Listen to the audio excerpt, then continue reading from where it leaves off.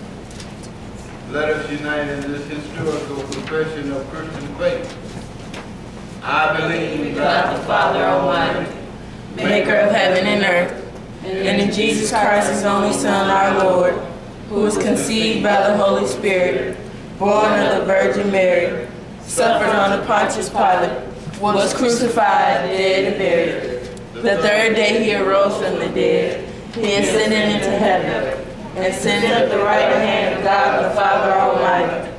From this he shall come and judge the quick and the dead.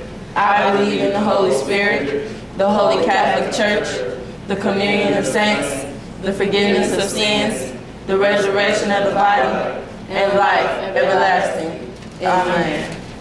This time we'll have our prayer. We'll have Mr. Hunter to come and do us our prayer. Y'all pray with us, we pray for him. Amen. We all in this thing together, whether you know it or not. Good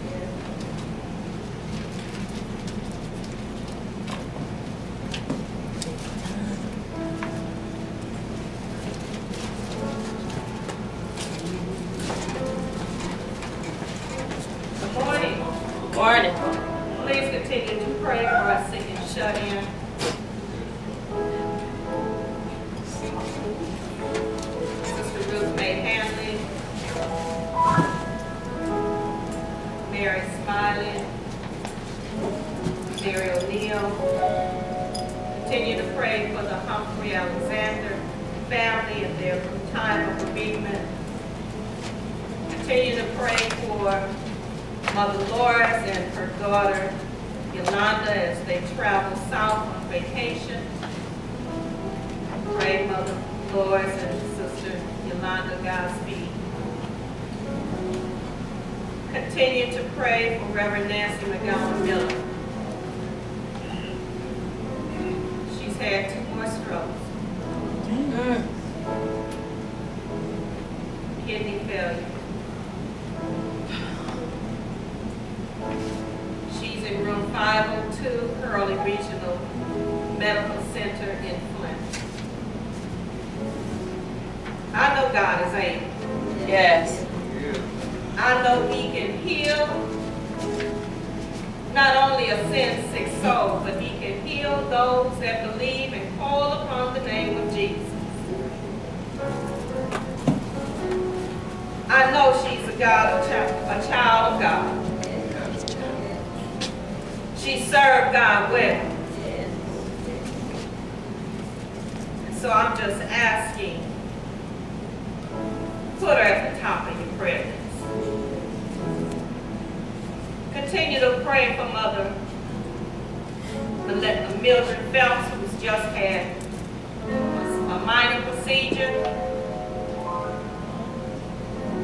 I had to tease her this morning, asked her, can you see? She said yes. Pray for all of those that have medical issues, health problems. Brother Hunter always prays for others, but never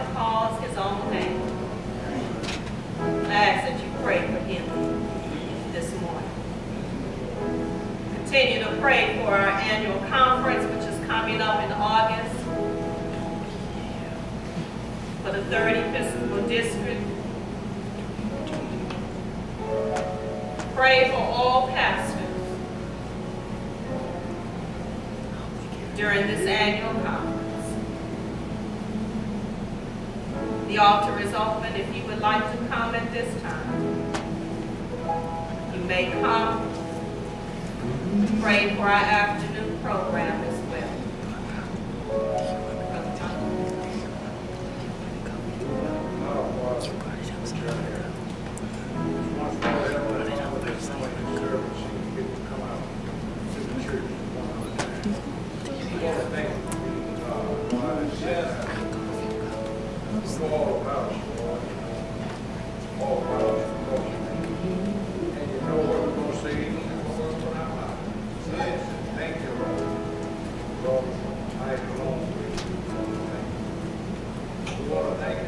Have mercy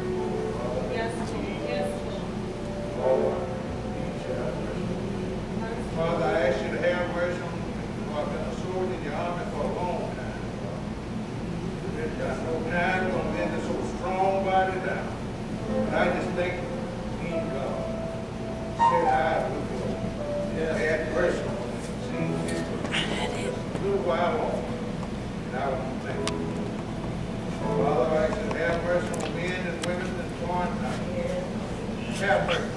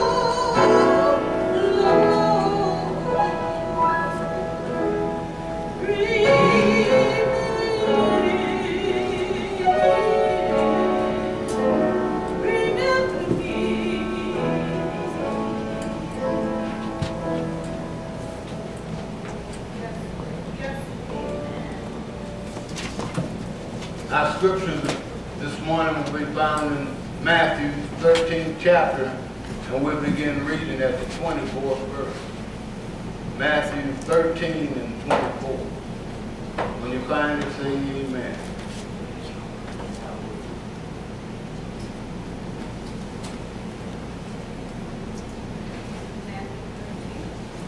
Matthew 13, 24. verse. And it reads as follows. Another parable put he forth unto them, saying, The kingdom of heaven is likened unto a man which sowed good seed in his field. Y'all see that? But while men slept, his enemy came and sowed tares among the wheat and went his way. But when the blaze was sprang up and brought forth fruit, then appeared the tares also. So the servant of the house came and said unto him, Sir, did not thou sow good seeds in thy field? From thence then had its tares. He said unto them, An enemy had done this. The servant said unto him, Will thou then that we go and gather them up? But he said, Nay, lest while ye gather up the tares, ye root up also the wheat with them. Let both grow together until the harvest, and it is time of the harvest. I will say to the reapers, gather ye together first the tares and bind them in a bushel to burn them, but gather the wheat into my barn. I read from Matthew 13, chapter 24 to the 30th verse. May God have a blessing to the reading and hearing of his word. Amen. The word of God for the people of God. Thanks be to God. Amen.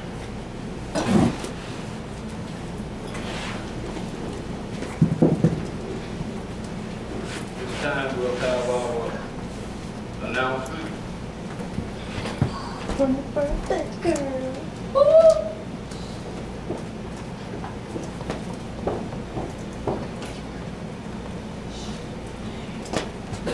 Go birthday girl. Go read them announcements, girl.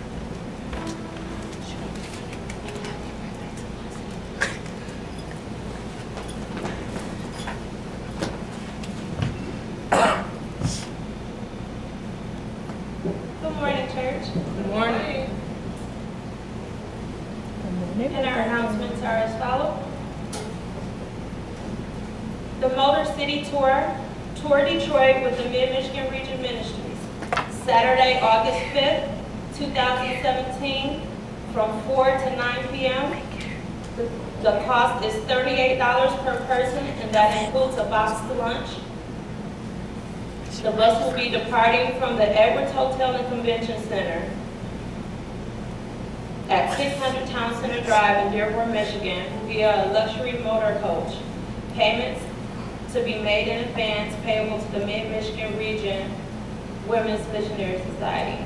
For more information and reservations, please call Miss Lynn Kelly, Miss Michelle Brown, and Reverend Deborah Hope Foster, and it will be posted downstairs on the bulletin board.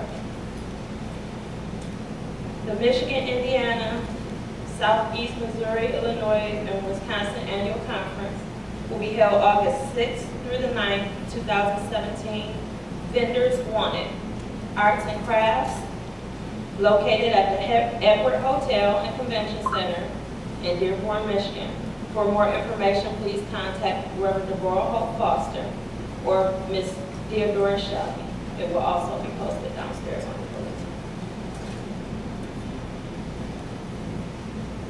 Greetings from St. Stephen Missionary Baptist Church. St. Stephen has a very special reason to celebrate this year. On September 10, 2017, we will celebrate our 50th anniversary of providing a place of worship and fellowship for believers, teaching and practicing biblical doctrine and ministering to those in need. All to the glory of God, what a blessing. As part of our 50th, 50-year anniversary celebration, we will be, we will be publishing a full-color souvenir journal documenting this historical journey from 1967 to 2017, and we invite you to be a part of our journal by purchasing an advertisement. Over these years, St. Stephen has fostered many wonderful relationships with our sister churches, as well as our community organizations and businesses. Many of you have shared this journey with us in one way or another, and we pray that we have a blessing, been a blessing to you along the way. Your support has indeed been a blessing to us. We thank you for your support and look forward to our continued relationship. We thank you for your consideration and support all these years. Sincerely, the 50th Church Anniversary Committee of St. Stephen Missionary Baptist Church, Al Terrell, Pastor. And those are our announcements. Oh, I'm sorry. And our King and Queen contest will be held this afternoon at 3 p.m. Please come out and support our youth. Um, also, we have prayer requests from our live stream viewers. Um, you want to call them? Okay.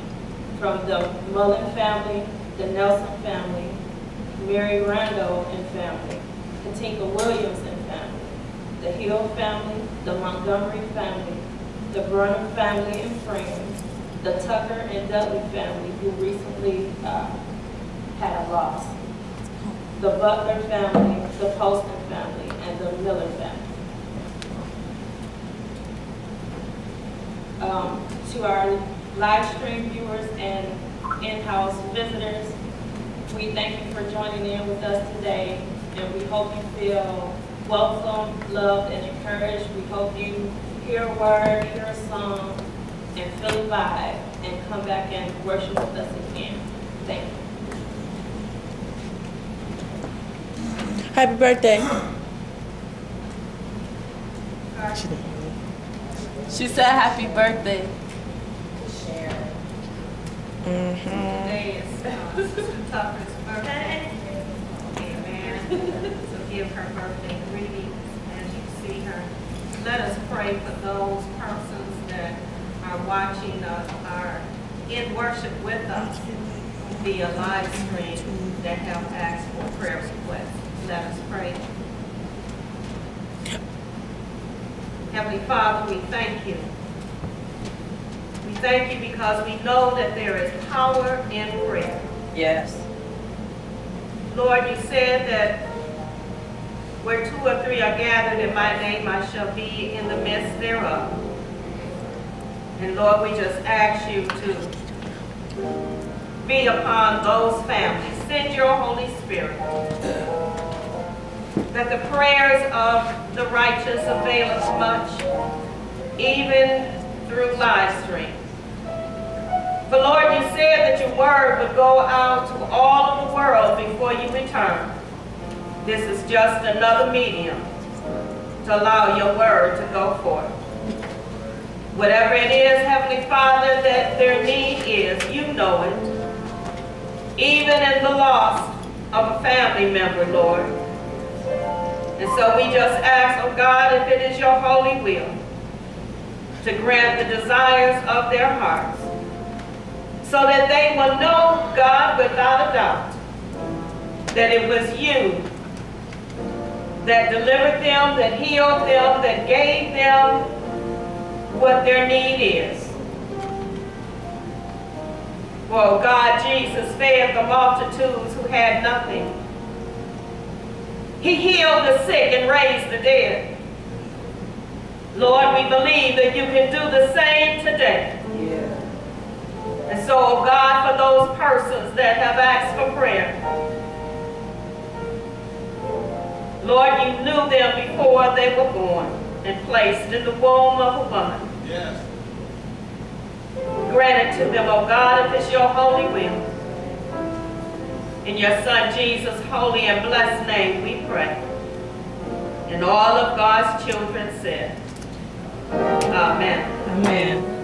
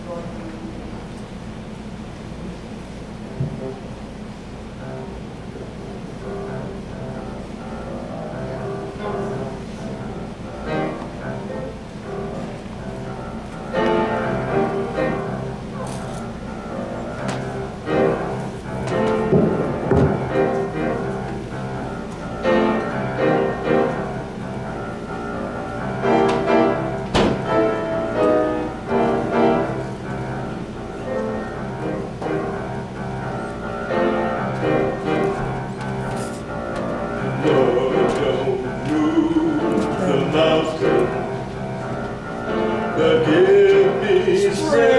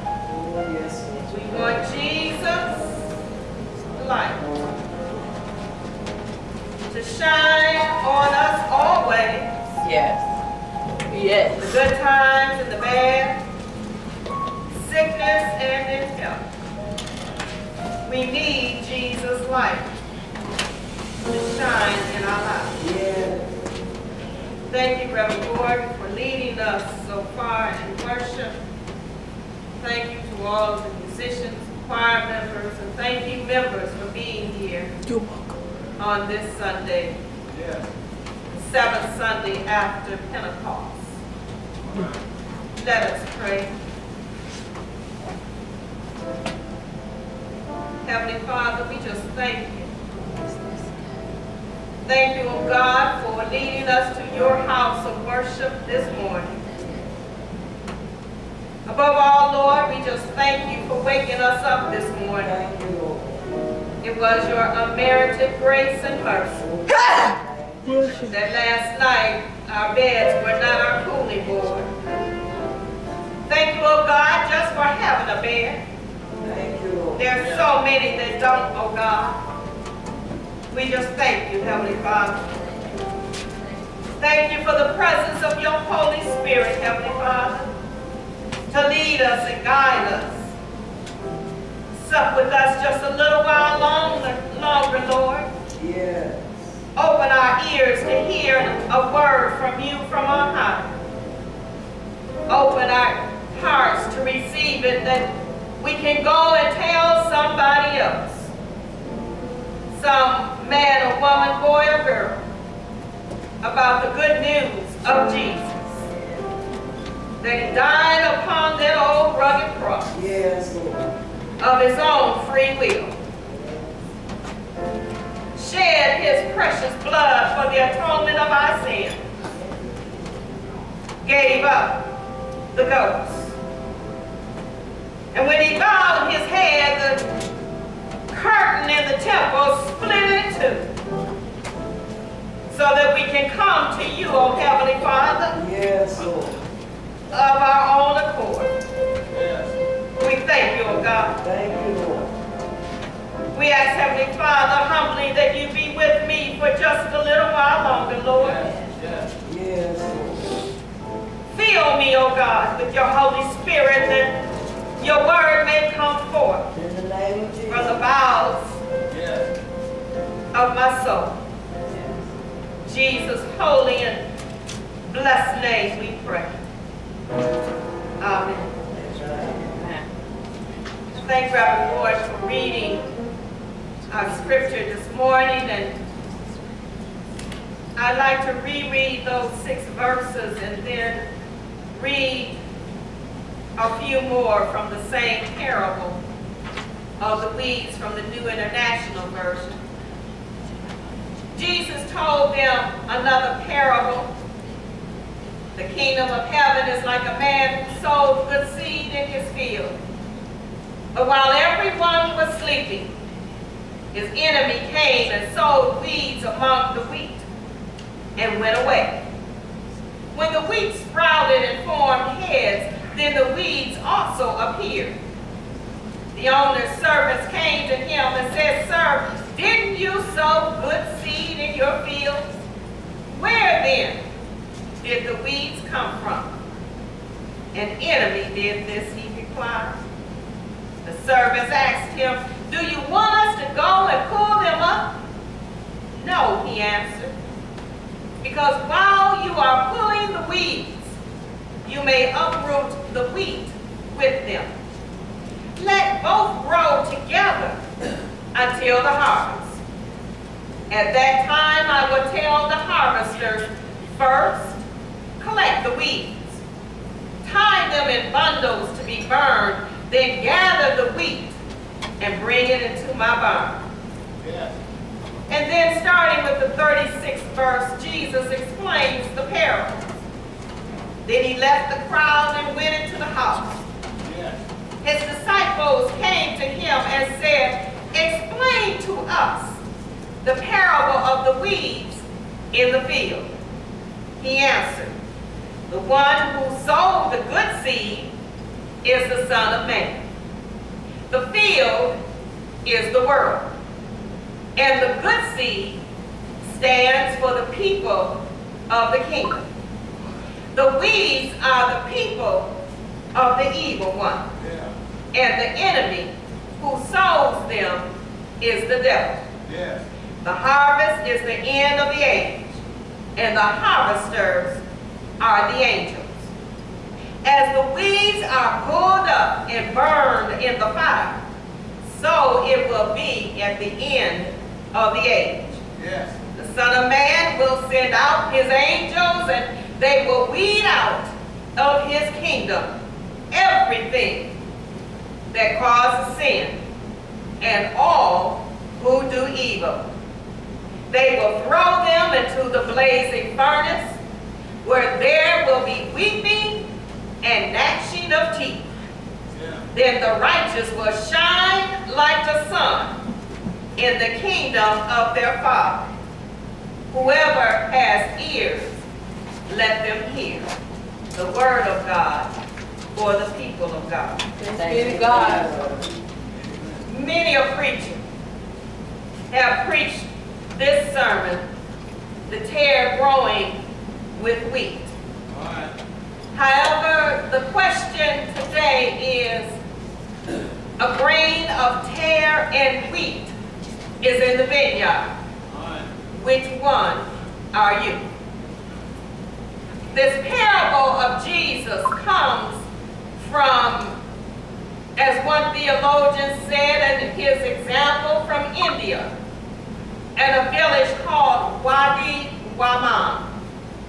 The tares are called bastard wheat. The Hebrew word for tares is zumin. The Greek is zizanium. Zumin is connected to the word zana, which means to commit fornication.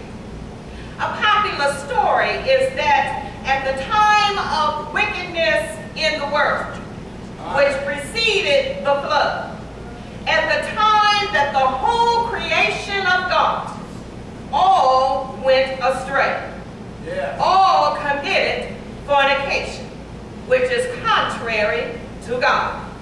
The wheat and the tares resemble each other closely in appearance. Thus, some believe that the tare is wheat, which has gone bad. Why did the women have to thresh or separate the wheat from the tare on the threshing floor? I'm glad you asked that question. The tare, which grain twisted itself, rooted itself around the wheat, which is toxic or poisonous. The tear, the tare caused dizziness and sickness. The tare is narcotic.